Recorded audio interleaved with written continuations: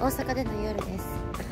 実は今大阪にお仕事で来ております。大阪に一人ぼっちで今いるんだけどさ聞いて。私今日東京から来て2回迷った。もう大阪わかんないわ私と思って。今日だけで2回迷子になってるの。そして今私はここどこ歩いてんだ？今からねナンバーに行きたいんだよナンバーどこじゃねこっちだ気がする。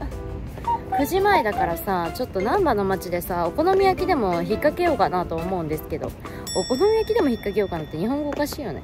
高速道路のを歩いていけば道頓堀に着くよってさっき運転手さんに教えてもらったのでそれを信じて歩いている所存です。ここはどこじゃ？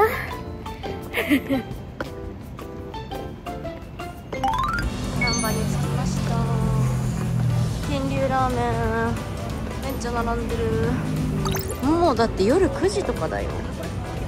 夜9時なのに全然人がいる。ねえほらすごくない？なんでさこんな夜遅くにパン屋さんやってんの？もう意味わかんなくない？焼きたて販売意味がわかんないよ。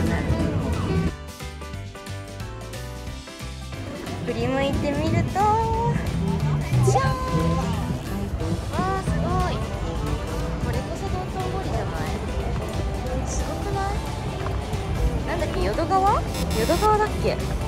えー、すごい。来ちゃった。えー、夜9時なのにさめちゃめちゃ明るいよほら。めっちゃ人もいるし。何？大阪の人って寝ないの？寝た方がいいよ。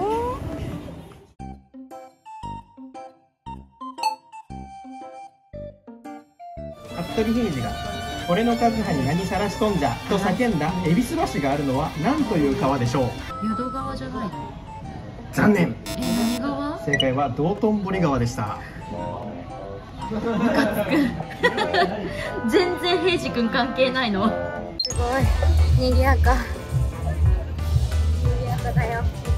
夜9時とは思えないぐらい賑やかで怖いです。どうしようなんかさお好み焼きかなんかを食べようかなって思ったんだけど。あすごいパントマイムやっとうよ。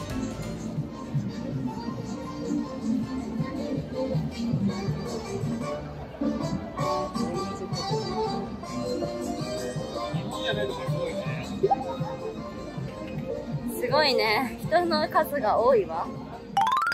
うわなんか美味しいお店ないかな。なんかほら有名な有名なおじさんがいる。ほら。なんかたこ焼きの店はまだやってんだ。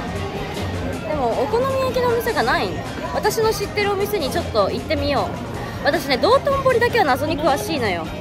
てか私がお笑い好きだったからよく一人で吉本とか見に行ってた。やばいやつだよね。16歳とかでさ一人でさあの名古屋から近鉄乗ってさ大阪来てそのまま難波であれ見てあの吉本見てで帰ってきてみたいなことやっとった。やばいよね。とりあえず1個お好みあったあったあったドムスあドムスさんやってる？私ここ好き。あ終わってる。このねドムスさんがめっちゃ美味しいんだよめっちゃ美味しいんだよ。行きたかった。ちょっと今度だ。まただ。またゆっくり。えー、どうしよう。ってなると私知ってるお好み焼き屋さんなくなった。あハリスの日。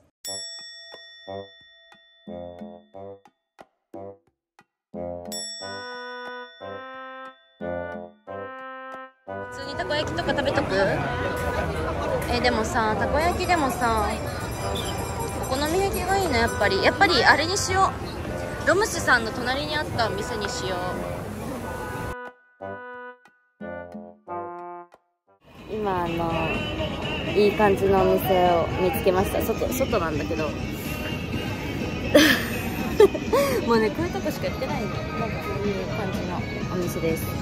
お好み焼き頼んでウーロン茶飲んでます。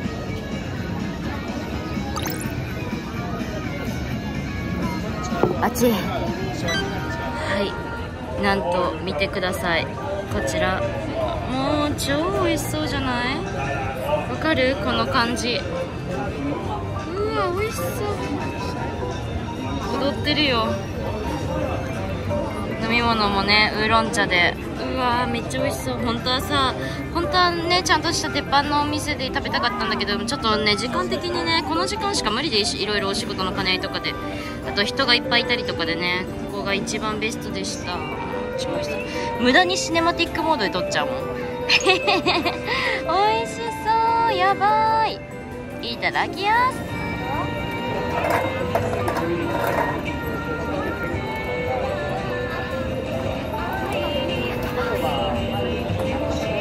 なんかお好み焼きと卵が乗ったスペシャルみたいな一番人気のやつって言ってた。好み焼きからいただきます。あやばいよ。本場のお好み焼きだよ。いや嬉しい。ちょっと待って。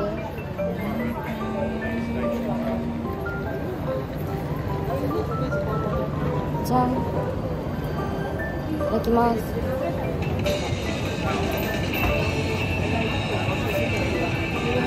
うん、うん、おいしいうんおい。全然関係ないんだけどさめっちゃ歌うまい人見つけたんやけど。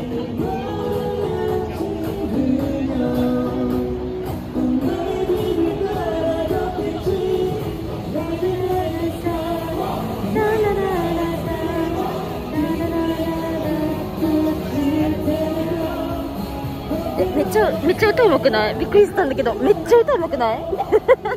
びっくりした。ちょっと待ってそれだけ。バイバイ。はいということで無事東京帰ってきました。大阪がバタバタしすぎてて動画の締めを撮るのを忘れておりました。すいません。ということでこの動画が良かったと思ったらチャンネル登録とグッドボタンそしてコメントもお待ちしております。皆さんの大阪の思い出とかおすすめのお店がありましたらコメントいただけると嬉しいです。それでは次回の動画でお会いしましょう。バイバイイ。